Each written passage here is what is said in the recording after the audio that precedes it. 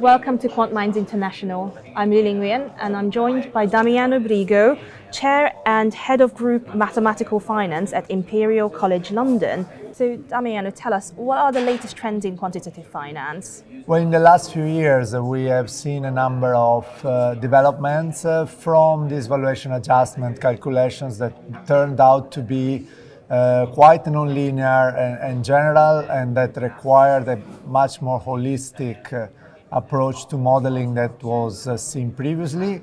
And also they require some advanced mathematical tools that have been investigated uh, now mostly in academic research, but they're, still percolating through, through practice.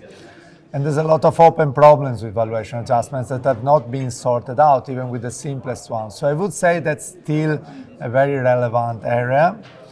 Then uh, I would say we have seen the increase of use of technology. That seems to be a trend that is, you know, some sometimes a hype and sometimes a real uh, uh, trend in the industry. And we we saw the increased use of machine learning. Uh, typically, of, we talk about fintech a lot. So the other question is, uh, what will be the impact uh, the, of all these methods uh, in the profession of a quant? Is, is uh, some people come to the point to say that quants will become unemployed because most of their job will be done by machines, by models, by computers, by algorithms. Others are more skeptical and don't believe that this is really going to happen. So, if, but I think that the change is real. There's much more reliance on technology now to the point that often there are even researchers who want to give up models almost completely and let the machine deduce the dynamic of the market from the data. So the data somewhat kind of speak for themselves, if you like, which is, uh, I think, again, quite an exaggeration, but uh, this is something we're really seeing. So I would say the main trends are, you know, these kind of more holistic modeling approaches and the use of machines uh, more and more in uh, uh, tasks that usually were, you know, the, the job of a, of a quant, of an analyst, or even of a trader or of a market maker, you know. Now everything is being automatized and, uh, and this is, uh, you know, showing uh, a lot of activities. So definitely this is uh, one of the, the trends we're seeing.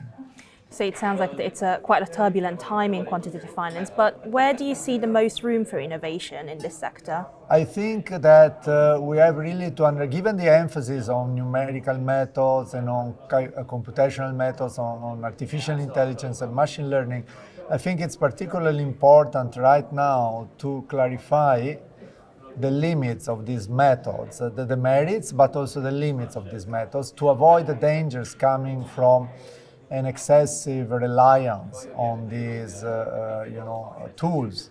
And one typical example uh, is interpretability. So for some of the uh, machine learning and artificial intelligence algorithms, so for example, deep neural networks or you know long short-term memory network, recurrent neural networks, these methods uh, are not immediately interpretable. You don't really understand uh, in depth what the machine is doing.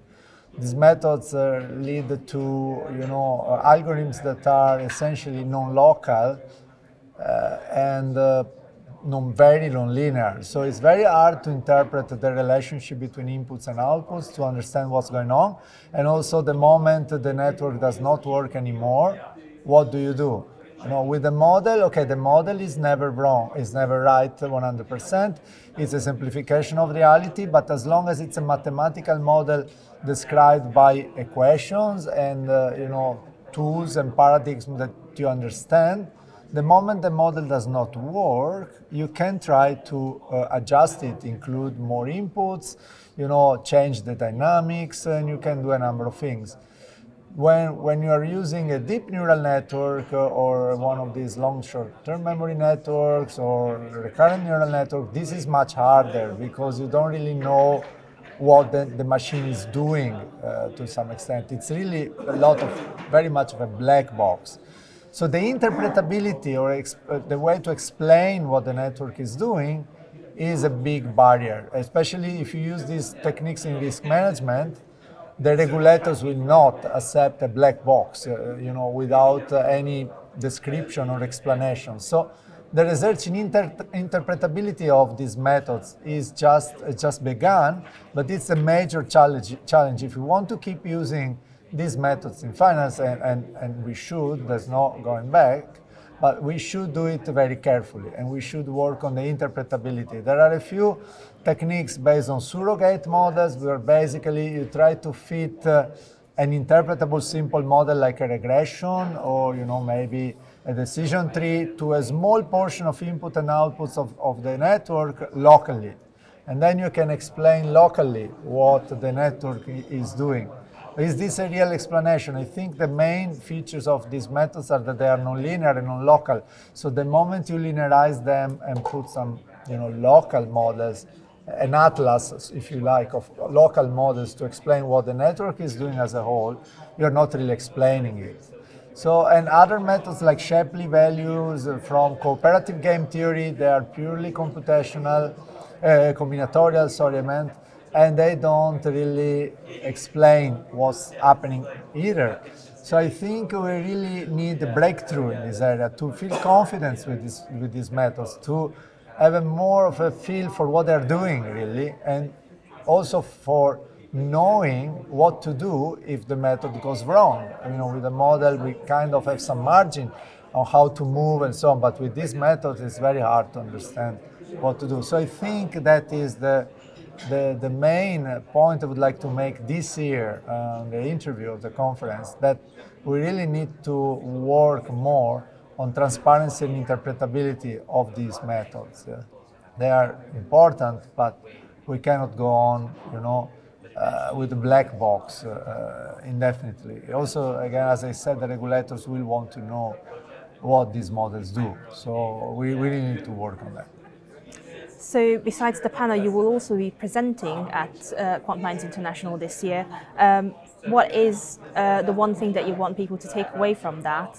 So I am presenting a, a, talk on optimal execution. So when you have to uh, sell or buy a given number of uh, uh, shares, for example, uh, in time without uh, being punished by the market. The market uh, is the market realizes you're keen to share a large amount of shares, the price will move against you. So you have to find a way to distribute the, the sale or the, the, the buy order in a way that minimizes the impact of you know your trading in a negative way against you and also to minimize some sort of risk. So what I'm pointing out this year is that it's very different whether you optimize your trade by assuming that you know all the information at time zero or whether you assume that you will know the information as the market uh, develops, which is the correct thing to do. Often for tractability and computa computational issues, you do the first thing. You assume you make the decision only with the information you have at time zero and you look at nothing else. But this is quite limiting. If you re really adapt your strategies as time moves on to reflect the movements in the market, this is much better. And I investigate how much better it is to be adaptive than it is to be static at time zero. So that's uh, uh, the, my message is if you're trading also with signals, this is very important. It makes a big difference. So you should be adaptive and not be static in a way. Damiano Brigo from Imperial College London, thank you very much for joining me thank today. Thank you, a pleasure. Thank you.